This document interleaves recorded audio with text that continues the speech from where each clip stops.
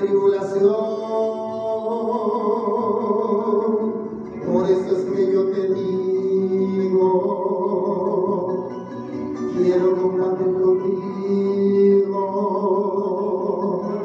lo que hay en mi vida entera. Oye, linda Venezuela.